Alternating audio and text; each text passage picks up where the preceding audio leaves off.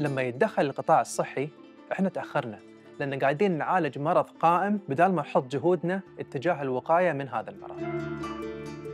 Small, incremental changes, such as increasing physical activity, like walking or swimming, can make a profound difference.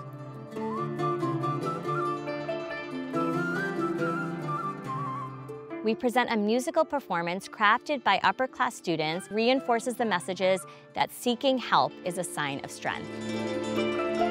من خلال دمج التمارين في الروتين اليومي يصبح للأفراد قدرة على بناء خطط للتأقلم مع الضغوطات لكل دولار واحد ينفق على الوقاية هناك عائد يعادل أربع دولارات لأن الاستثمار في الرعاية الصحية هو استثمار في مستقبل أفضل